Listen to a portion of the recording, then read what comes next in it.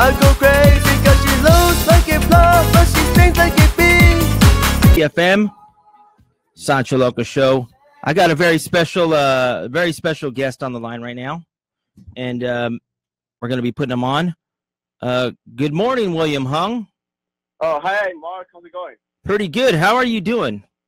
Uh, I'm doing great. God, very busy day ahead of me, but, but it's a great day. I appreciate you calling back. Last time, uh, you know, we did an interview. Um, some of our listeners didn't get a chance to hear some of the great information that you were providing. So you were uh, more than willing to do it again. So I, I want to just first start off by thanking you for uh, calling in again. I know you're a busy man. I know you got a lot going on, but you know, um, thank you. No problem. So um, William Hung uh, was born in Hong Kong, and he moved to um, United States. And uh, you first went off to school in New York, right? Uh, no. What, what happened was that I went to school in Berkeley. Okay. It's, uh, I came to school in the United States, basically, yeah, and then Los Angeles, and then I and then I went through middle school and high school, and then I went to Berkeley, and then like recently, a lot ha- a lot of stuff happened, obviously, but uh, and then recently I graduated from a college in New York called Marist College. Okay. And um, you went to college in New York, right? And then uh, from New York, um, did you move to Los Angeles from that? That because it says you went to school, uh, New, or you lived in New Jersey, and then you moved to Los Angeles, right? Okay, this the Wikipedia stuff is all wrong. Oh, really? Yeah. Are you Uh, are, are you telling me the the people that report government facts? Wow, Uh, man. I don't know. I, it, it's not quite right. It is right, but they, they're only partially right. Okay. I that yeah, because they're partially right because I I uh, I only grad I graduated uh, with an online program, so I never went to New York for college. Yes, I did go to a university in New York called Marist College, but it's online. Uh, uh, but their program is one hundred percent one hundred percent online. So I was in Los Angeles throughout. oh, okay. So you you pretty much came to Los Angeles first. That's great. Um, Yes. And then you studied uh, civil engineering. Was that your was that one of your first careers, civil engineering, or or did you did you go? Um, were you always uh, interested in the LAPD, or was that like a, a later thing? uh, it was a later thing because because when I studied for the civil engineering, I just thought it was I thought I was good in math and science, Mm-hmm. and I could get through it just fine. But then then I didn't do so well in school. I got my first D in my life. Oh, really? Now, now, Yeah, now, I, that Yeah. must that must have been a really big thing because I know, like in Hispanic families, we're not so hard on on our kids. Like, I mean, we should be, but we're you know, I, I think in Asian families, they're they're really hard on their kids with education, and, they, and so getting your D. What what did your parents think when you got your first D? Uh, I didn't tell them. did you hide your report card, or how did you do that?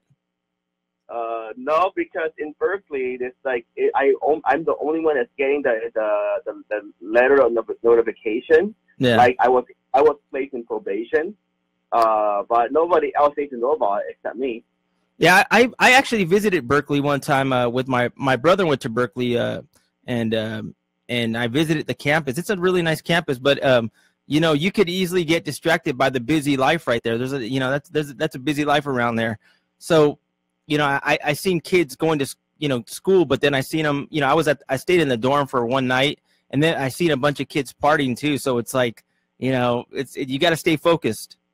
Um, so you went to Berkeley, and then uh, what made you want to try out for American Idol? Like, what I, I mean, like, were you already singing? Did you were you singing prior to that? I was singing for fun prior to that.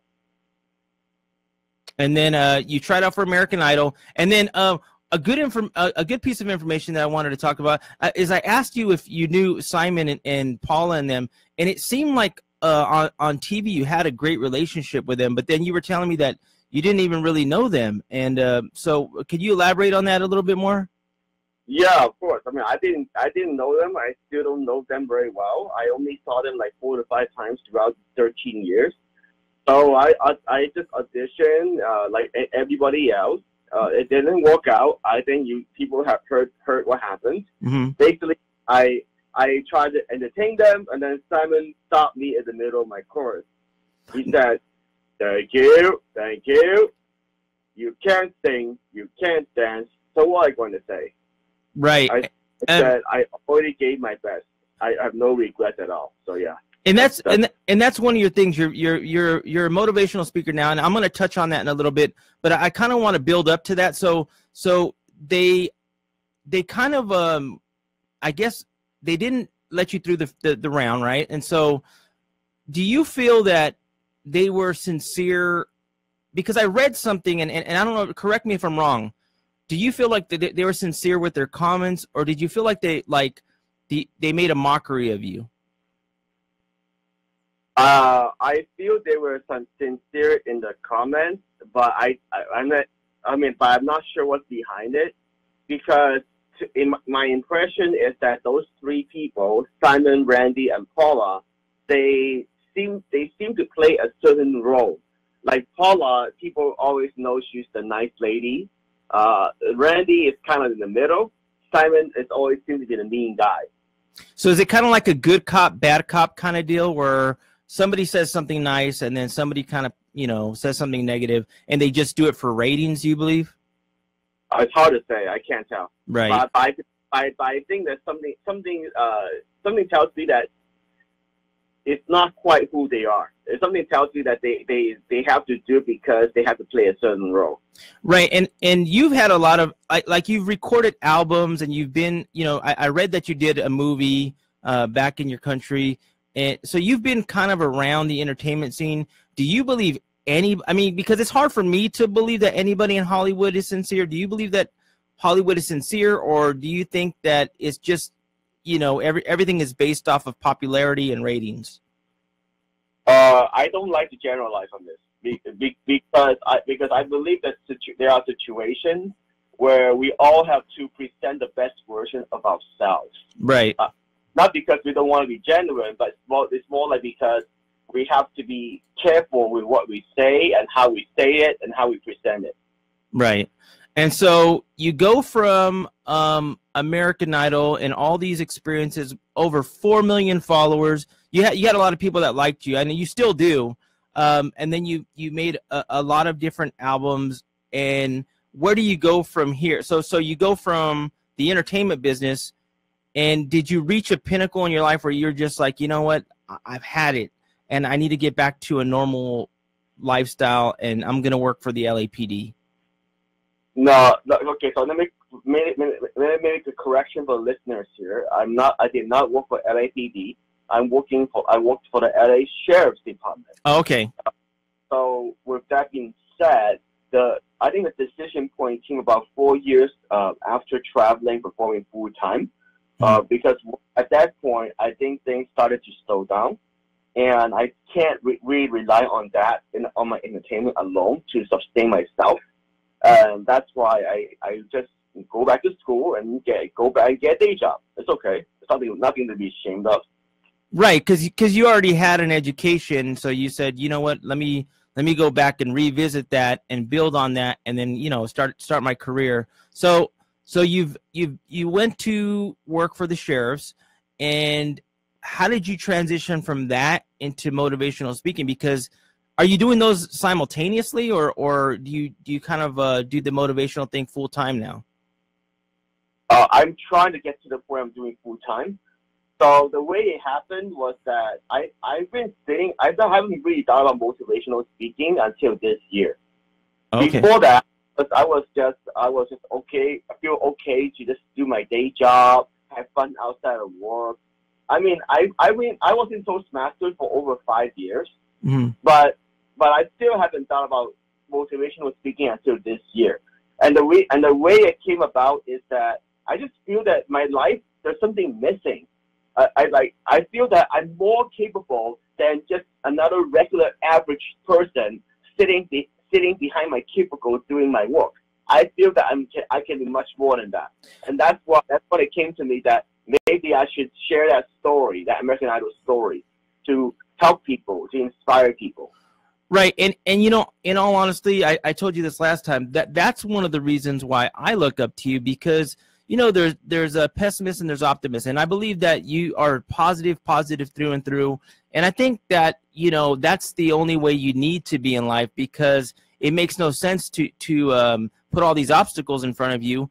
And I believe that uh, your message and your story is a great story to help people build on their lives because a lot of times, you know, we we learn from experience, and so you've had all these uh, trials and tribulations, and um, I I believe that you can share that through speaking and help people out. So that's that's a wonderful thing you're doing. Um, where is the where is the list or where can the listeners find your information? Because I know that you have a website and you you have social media. Yes, I would say you could go on my social media, like like William Hung on Facebook. That's that's where I'm most active. Uh, and then the, my website williamhung.net. I also update regularly. Nice. And um, a couple more questions for you, and I know you got to get going, so so I'll be quick about this. Um, do you ever find do you ever find it uh I, I don't want to say does it ever get in your way when fans recognize you because i know you're a very recognizable person when you're at work for the sheriffs or when you're doing motivational speakers and, and you see you have tons of fans out there does that ever get in the way of your work? Sometimes it does uh, because so, sometimes it, it, sometimes it's a bit awkward to have people recognize me uh, in in like a in like a work related event like a like when we hang out for lunch or things like that.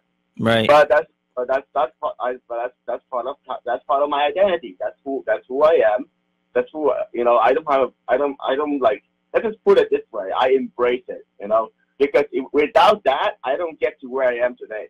So I I embrace it. Right. sometimes I feel I do feel a little bit annoyed. I I'll be honest here. Right. Because whether I'm having lunch or I have to get somewhere you know I, I could get annoyed like if I, I but I try to stay very cool. I try to look I try to be very good to people because uh, at the end of the day, you never know who you might end up working with now.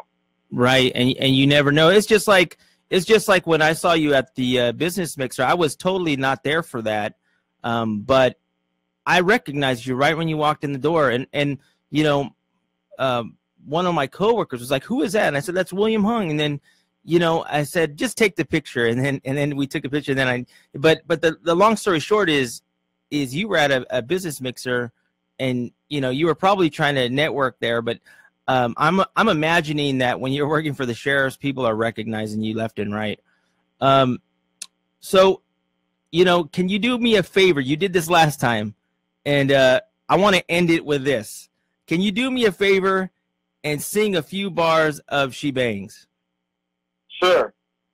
all right we're, we're ready Bang! Okay, there we go. all right She bangs, she bangs. Oh baby, when she moves, she moves. I go crazy cause she looks like it's love, but she seems like it be like every girl in history. She bangs, she bangs, wasted by the way she moves, she moves. No one ever looked so fine. She reminds me that a woman's got one thing on her mind. Hey, William, if I was Simon, I would have let you through, man. I'm just letting you know that right now. I appreciate you. Thank you for calling in again and uh, giving us this great interview. Um, anything, any last words you want to say to the listeners, uh, you know, in, in terms of uh, where they can find you or, or uh, any last messages? Well, the, the one thing that will be that will help you succeed is it's not necessarily talent. It's not necessarily other factors. It's how hungry are you for success. The more hungry you are, the more you're willing to do the other things that, that's required. So don't give up on your dreams. Keep trying until you get there. You heard it here. Sancho Loco Show. Thank you, William Hung. I appreciate you. Have a great day, okay? Thank you. Bye-bye. Bye. She she. Oh, baby. When she she. I go crazy cause she looks like a but she like a bee. Like every girl in history.